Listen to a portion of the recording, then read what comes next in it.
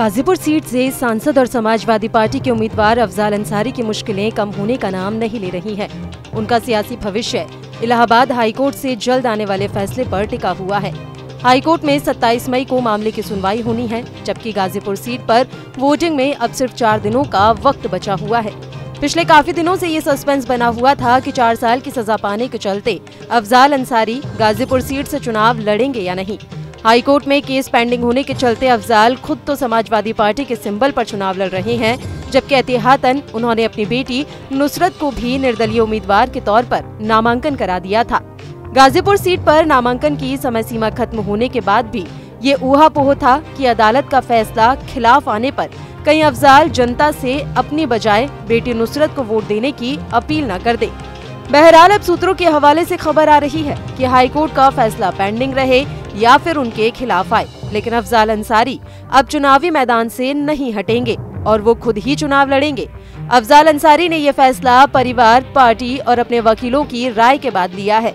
दरअसल हाईकोर्ट में अफजाल के मुकदमे की पैरवी कर रहे वकीलों ने राय दी है कि अगर उन्हें हाईकोर्ट से राहत नहीं मिली और उनकी अर्जी खारिज हो गई तो भी सुप्रीम कोर्ट ने जिस तरह गाजीपुर के ट्रायल कोर्ट के फैसले पर रोक लगाई थी, उसी तरह हाईकोर्ट के आदेश पर भी राहत दे सकता है। अगर सुप्रीम कोर्ट ने भी सजा रद्द नहीं की तो जीतने की स्थिति में उनकी सदस्यता रद्द होगी और गाजीपुर सीट पर दोबारा चुनाव होगा।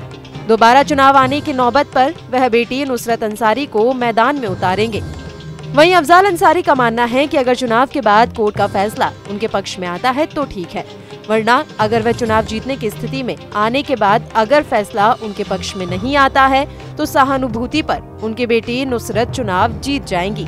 ये फैसला अफजाल ने पार्टी के नेताओं और कानूनी जानकारों से जो सलाह ली है, उसमें यही नतीजा निकला है कि निर्दलीय उम्मीदवार के तौर पर चुनाव लड़ रही बेटी नुसरत को पूरे वोट ट्रांसफ़र नहीं हो सकेंगे, क्योंकि तमाम वोटर साइकिल का सिंबल देखकर वही वोट कर देंगे और चुनाव फंस जाएगा। अफजाल अंसारी को पिछले साल उनतीस अप्रैल को गैंगस्टर के एक मामले में चार साल की सजा मिली थी। सजा याफ्ता होने की वजह से उनकी लोकसभा की सदस्यता निरस्त हो गई थी। हालाँकि सुप्रीम कोर्ट द्वारा सजा पर रोक लगाए जाने की वजह से उनकी सांसदी बहाल हो गई थी। सुप्रीम कोर्ट ने इलाहाबाद हाई कोर्ट को 30 जून तक अफजाल अंसारी की याचिका पर सुनवाई पूरी कर फैसला सुनाने को कहा था। इसी बीच यूपी के मुख्यमंत्री योगी आदित्यनाथ ने समाजवादी पार्टी और मुख्तार अंसारी परिवार पर हमला बोला है। यहाँ का भी माफिया है, जब अपने काले कारनामों को छुपाने के लिए कोई जगह नहीं मिलती।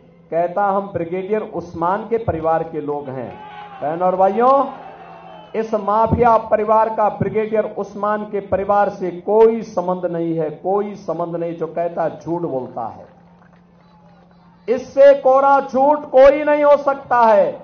इससे कोरा झूठ अगर समाजवादी पार्टी कहे, समाजवादी पार्टी कहे कि हमने राम मंदिर बना दिया, क्या आप मानेंगे क्या? मानेंगे क्या? अरे राम भक्तों पर गोली चलाने वाले मंदिर क्या बनाएँगे? आतंकवाद, आतंकवादियों के पैरोकार और माफियाओं के सामने घुटने टेकने वाले राम मंदिर का निर्माण और आपको सुरक्षा क्या प्रदान करेंगे? आपको हमारा ये वीडियो कैसा लगा, हमें कमेंट बॉक्स में ज़रूर बताएँ। देश दुनिया की तमाम और यूपी, उत्तराखंड की हर छोटी बड़ी खबरों के लिए न्यूज़ स्टेट चैनल को सब्सक्राइब करना ना भूलें।